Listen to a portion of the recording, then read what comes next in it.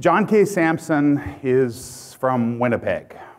Um, I don't think you could get away with a song in which the chorus was, I hate Winnipeg, if you weren't from Winnipeg.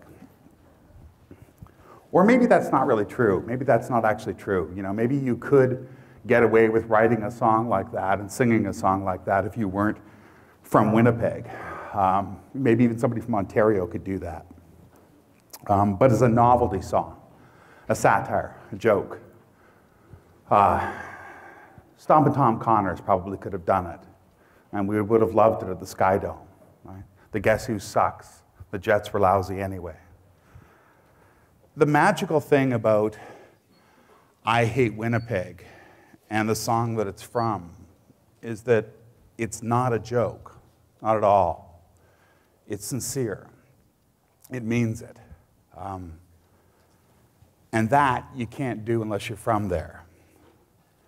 And of course, it also means and says the exact opposite I love this town and that you cannot do unless you're from there. The love hate relationships that we all have with the places that we're from is a relationship that you can only have with the place you're from. Is the volume okay? Is it too loud? It's good? Okay. Half of John K. Samson's songs are about wanting to leave Winnipeg. All of them are about why he does not leave Winnipeg. Many of them are set in recognizably, specifically Winnipeg locations. So, a, a late night restaurant in North Kildonan, a basement bar on Albert Street, um, Grace Hospital on Portage Avenue, or under the Disraeli Bridge. They feature local landmarks um, like the Golden Boy, the statue of the Golden Boy that sits atop the Manitoba Legislative Building. Um, they're about local heroes, like uh, Reggie Leach, the Métis hockey player that one song once elected to the Hockey Hall of Fame. They use metaphors drawn from farming, fallow, curling, uh, the local climate, the local geography. They get a lot more metaphoric mileage out of home heating systems than most songs from the East or the West Coast. Radiators hum out of tune on one song. I want to call requests through heating vents, starts another. We take our metaphors from our surroundings, right? They come to us from where we are. It's a good moment, a sad moment, unfortunately, today. Uh, to remember the first page of Chinua Achebe's African story, Things Fall Apart. Okonkwo's fame spread like a bushfire in the Harmattan, right? Like a bushfire in the Harmattan, the cold wind that blows down from the north.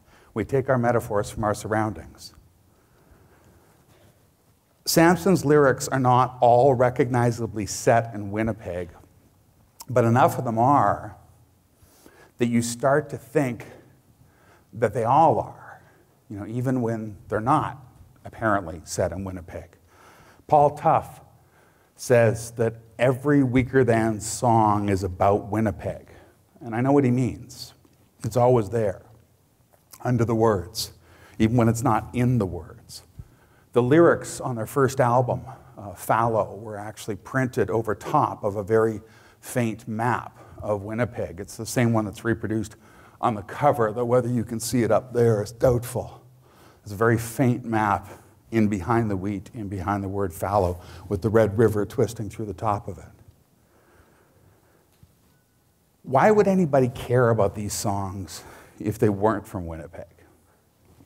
Right? If you didn't know David Reimer from Reggie Leach, why would you care?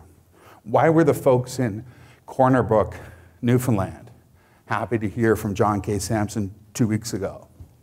And why are you people here in Toronto happy to hear from him in about 45 minutes? Assuming, of course, that you are happy to hear from him in 45 minutes. And why are you happy to hear from him in 45? That was that was a question. Are you happy to hear from him in 45 minutes? Yes. to put the question another way, how does the local become universal? So I'm really not sure about this, but I think that the best answer that a writer, an artist, could give to that question is don't know, don't care. Because I think for the writer, for the artist, doesn't matter where you are, getting the local right is enough. That it's enough to be true to the feelings that you have for the place that you know. Because places are not universal, but feelings are. And if you get the feelings right, then the audience will follow, whether they are in Corner Brook or in Nanaimo, because they will have the same feelings that you do about the places that they love and the places that they hate. In the live recording that I showed you last week, recorded here in Toronto, of uh, the uh, Uh, John K. Samson performing One Great City. At the end of the song, the end of the performance, John hesitates to finish the last line on the last word. I hate, and he just waits.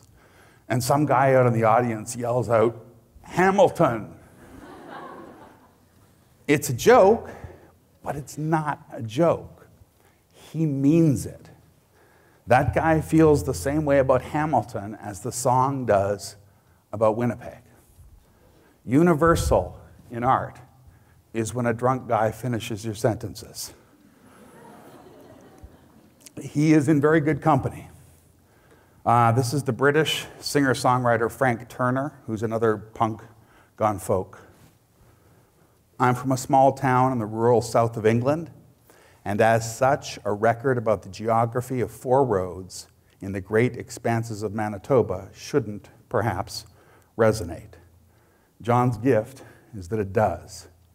Within his personal journeys into the heartlands of his landscape, he draws enough truth about the human condition out into the open to connect with anyone who has ever felt alone, awkward, lost, or cold, and indeed warm, loved, or nostalgic. This is another one. This is John Darnielle of the Mountain Goats. And John grew up in a town called San Luis Obispo, which is in Costa California between uh, Los Angeles and San Francisco, and it's not at all like Winnipeg. No matter who you are and no matter where you're from, you know what it's like to hate your town. That's the skeleton of a feeling that by the end of one great city becomes a walking, breathing human being with all the complexity about how you feel about where you're from. That's what's universal, right? Not where you're from, how you feel about where you're from. If you get that right, people will sing the chorus for you. Artists do not make their art universal. Audiences do that because we want the song to be about us. We want all the songs to be about us. When you're breaking up, every love song is about you. Or to take a highbrow example, Ulysses, the James Joyce's Ulysses, weirdly the book that we have talked about the most in this class that the fewest of us have read or will ever read, including myself. Um, it's a fiercely local novel, or at least what I've read of it. It's one man's hymn, one man's take to his hometown. It's, it's James Joyce's My Dublin um, to John Samson's My Winnipeg. But generations of readers, critics we call them, have universalized Ulysses. They have made it into the modernist novel. This novel about a city, we've turned it into a novel about us. And I think in significant part we did this to validate the time spent reading it. Imagine, right? Reading that thing and thinking, well, that's not about me at all. That would suck. Lyrics and Poems um, is not a book. It's a collection of five books written over 15 years. This thing took over twice as long to write as it took James Joyce to write Ulysses. That is not a criticism, that is a suggestion to think about how much of a life went into it 15 years, to think about how much of a life goes into writing songs. It also means, because it's five separate books, it also means that it's a lot harder to do with that what we did with a novel like Lolita or a collection of short stories like Better Living Through Plastic Explosives. That it's difficult for us to pin down the style, to characterize the techniques and affections that define and describe a writer's style, whether they know it or not. Some aspects of a writer's style will no doubt stay with them throughout their writing career, especially those of which they're unconscious. But style also changes from book to book because it's not the same book and you're not the same person. In the first book or album, Fallow, in 1997, the stylistic trait that jumps out at me in these, these songs is what grammarians call the imperative mood, the imperative mood. And that is the construction of sentence or verbal constructions that we use to make commands or issue requests like pay attention or please stop here. Those are imperatives. It's a lovely term, right? The imperative mood. These are songs that are in the imperative mood. They're in the mood to make requests. Sometimes the speaker will direct those commands, those requests at himself, the performer, like in the very first song, page 15. Go over your lines. Iron your carefully crafted disguise. Publicly smile and privately frown. Please hear my cries. Sometimes they're directed at others, um, maybe an other. Tell me why I have to miss you so. Ask me the questions you never want answers to. Knock so I'll know you're still there. See, grammatically, those are all imperatives. But the content of them makes them into something different. They're not really commands, they're more pleas. The imperative is also the mood of a prayer. Please explain. Tell me why it hurts. That's the mood of fallow. The second album, uh, Left and Leaving, um, from 2000, is still sometimes in the imperative mood. Um, but this time, it seems to me that the hallmark of the style in here is something that we've seen before in this class, and that is the list. And again, the first song sets the stylistic mood. The first song is about a garage sale, and everything must go. I think it's on page 33. Everything must go. I don't know if they say this in Manitoba or not, but my wife's family's from Saskatchewan, and that's what they call leftovers. Must go. Right? What's in the fridge? We're going to have must go. So this is everything must go. Second stanza, a cracked up compass and a pocket watch, some plastic daffodils, the cutlery and coffee cups I stole from all night restaurants, a sense of wonder, only slightly used, a year or two to haunt you in the dark, a wage slave 40 hour work week weighs a thousand kilograms, so bend your knees, comes with a free frakes big smile for all your dumb demands, the cordless razor that my father bought when I turned 17. A puke green sofa, the outline to a complicated dream of dignity, and a laugh too loud and too long.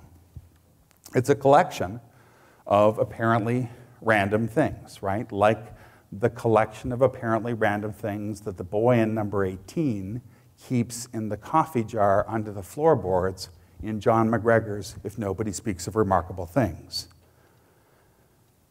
thematically, it's not insignificant that the boy in number 18 wants to keep that stuff, right? That he's trying to hoard it, to collect it. Whereas John K. Samson's speaker is trying to get rid of it all. He's doing some house cleaning on a life. But we're talking about style now, not theme. And stylistically, they're the same. They're, they're, they're, they're things, they're lists, bits and pieces that suggest the whole. Synecdoche, page 40.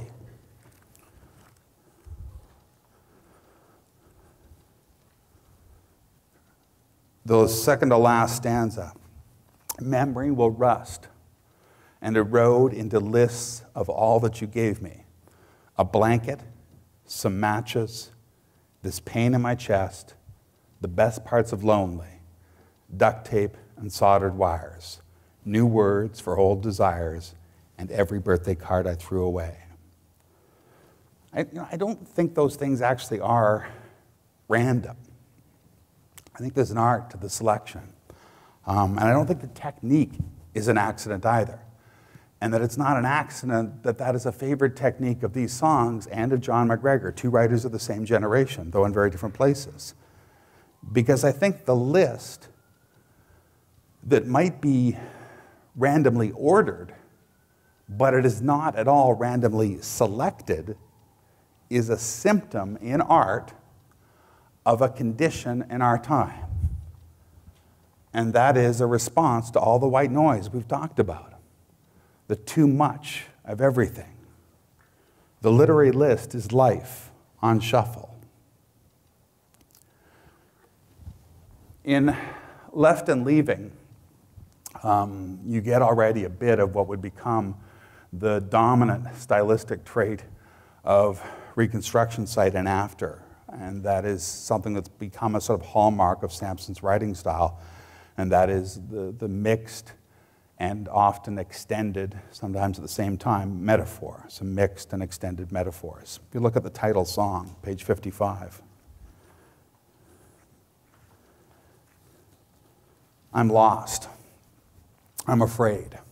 A frayed rope tying down a leaky boat to the roof of a car in the road in the dark, and it's snowing. If I'm more, then it means less. Last call for happiness. I'm your dress near the back of your knees, and your slip is showing. I'm afloat, afloat in a summer parade up the street in the town that you were born in, with a girl at the top wearing tulle and a Miss Somewhere sash waving like the queen. That's mixed metaphor. That's metaphor in a blender. But they're all associated. Notice that the different things are all associated, they're connected or linked. From a boat to a float as a verb to a float as a noun. And Samson told us that back in a song on Left and Leaving. He said, Your metaphors, as mixed as you can make them, are linked like days together. It's on page 38. And so they are, most of them. The metaphors tend to be linked, associated. If you want as good an example as I've ever seen in a song or a poem of an extended metaphor that is unmixed, that is, stays constant over the course of the song, check out uh, Tournament of Hearts in Reunion Tour. Um, it's a love song, a love story made entirely from curling metaphors. Why can't I draw right up to what I want to say? The biggest change uh, in the lyrics over Samson's last few albums um, is less in their style, I think, than in their genre. For, for myself, and there's room for argument about this, but for myself, uh, song lyrics are not poems, um, but they are descended from the same ancestor, from a time when we did not separate words and music into separate boxes, separate classes, separate stores. The word lyric actually comes from that time, right? From a stringed Greek instrument that the Greeks used to accompany songs or recitations, just reading. Song lyrics aren't poems, but they are poetic.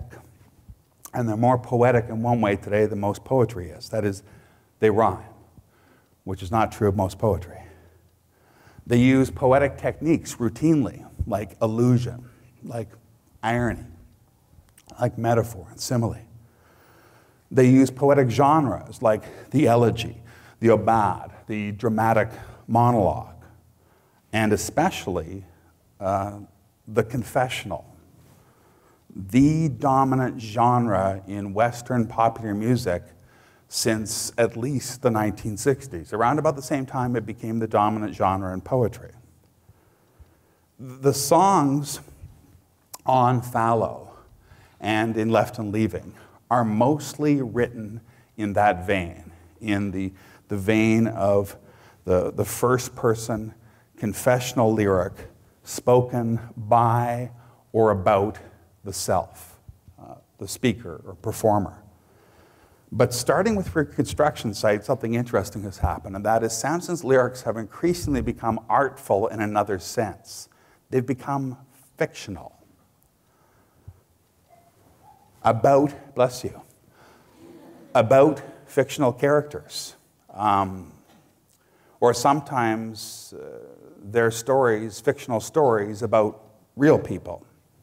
So on Reconstruction Site, for example, we get poems that are spoken by a bunch of old guys at the Elks Club Lodge at last call. We get a song spoken by and about a retired Antarctic explorer who's having dinner with Michel Foucault. We get a song spoken by a cat, a cat who is tremendously fed up with his depressed owner that just wants to drink and watch TV all the time. Some of the songs on the album, I don't, maybe all of them, I don't know, but at least some of them for sure are linked in what we would call a song cycle. And I think the song cycle is about visiting somebody in the hospital. I don't know, can't tell if it's somebody who's terminally ill or perhaps somebody who's been hospitalized for, for mental reasons, some form of depression or a breakdown. At least half the songs on the next album, Reunion Tour, are dramatic monologues spoken by fictional or real people, but not by the singer. Dramatic monologues, including the very first one, which is spoken by a bus driver. There's another one that is spoken by a man who kills himself in a parking lot. That's David Reimer. The one that's spoken by the curler, the lonely curler sitting at the rink, wondering why he's not better at this, relationships. There's one spoken by a guy who saw Bigfoot. And what happens, I think, as you're listening to the record or reading the words, is that enough of them are spoken by fictional characters that you start to think or realize that they're all spoken by fictional characters.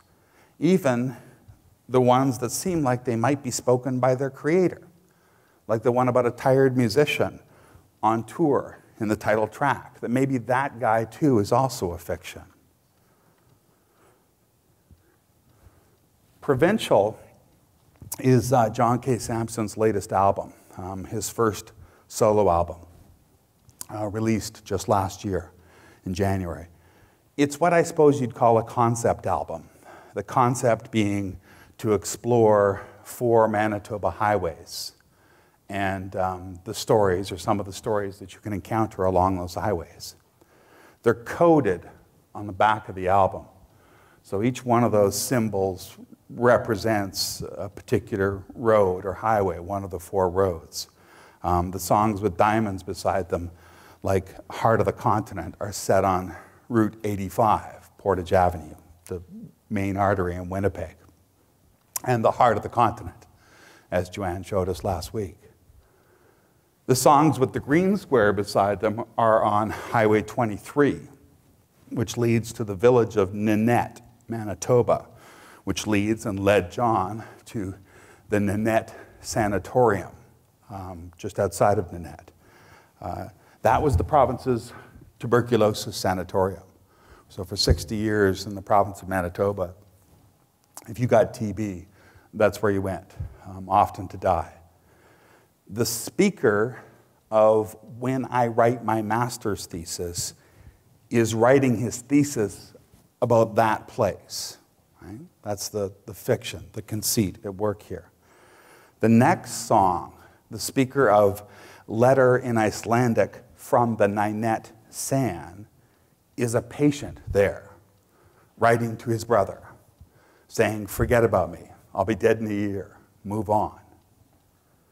I think, maybe just because this is fun to imagine, maybe I read it somewhere and I can't remember, but I think the letter is in the archives that the master's student is working on.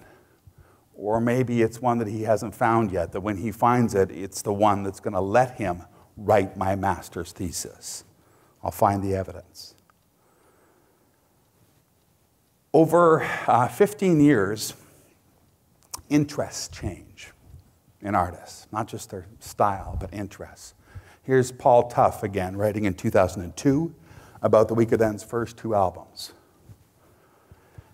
Images of revision and construction, of tearing up streets and pulling down buildings and planting a bomb at City Hall and spray painting construction sites are all over John Samson's lyrics.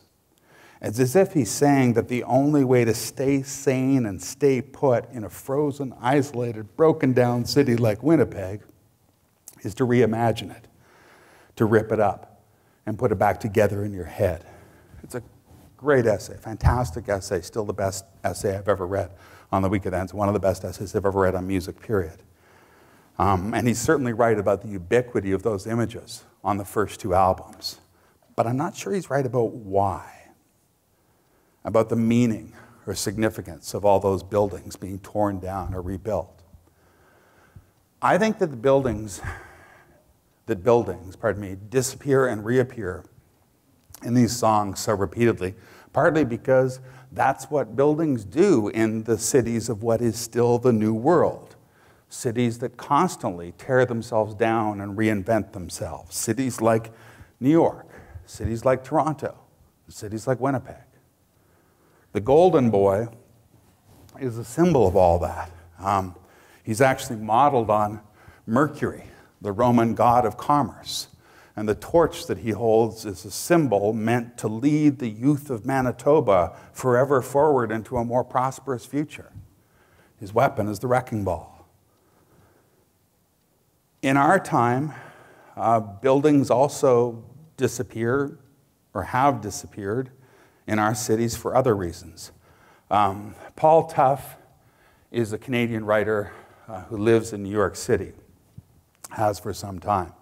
In the fall of 2001, these are the lyrics by John K. Samson that he wrote down and stuck on his fridge uh, from the song I played at the start. My city's still breathing, but barely it's true, through buildings gone missing like teeth. See, he says that even though he knew that the song was about Winnipeg, for Paul Tough in New York after 9 11, it became about his city, right? About his feelings for his city. Artists don't make their art universal, audiences do that. Because sometimes we need the song to be about us. I'd be willing to bet that one of the other reasons that buildings keep getting pulled down in Samson's lyrics and the first two albums especially, is because you can take the punk out of the punk band, but you can't really take punk out of the punk. Um, the Weakerthans are not as aggressive a band musically as Propagandhi was, but the songs are still pissed off some of the time. You know, they're still quietly angry, even though they're now capable, as Propagandhi is now, of laughing gently at their own anger. In songs like Pamphleteer, or Confessions of a Futon Revolutionist. When Samson sings, Let's plant a bomb at City Hall, I really believe that some part of him means that, that some part of him still wants that. I swear I more than half believe it when I say that somewhere love and justice shine. But for all that Samson's songs are quite clearly products of their society, and in some cases, protests against that society. I don't think they're either really protest songs or social realism, but that's not really what they're up to. I think they are primarily vehicles for emotion, for the representation and communication of feelings, the job of the lyric, not ideas, not facts. In, in 1994, the Prince Edward Island born poet Mark Strand, um, now an American poet, published a, a very good book of art criticism on the American painter Edward Hopper. The book is called Hopper. And Strand, in this book, argues against what has become the dominant reading of Edward Hopper, the painter. That is, that Edward Hopper is a realistic painter, that his paintings are social documents of mid century America. Strand says, well, okay, maybe a bit, but that's not really what makes them so great. That's not what we love about them. This is what he says in part.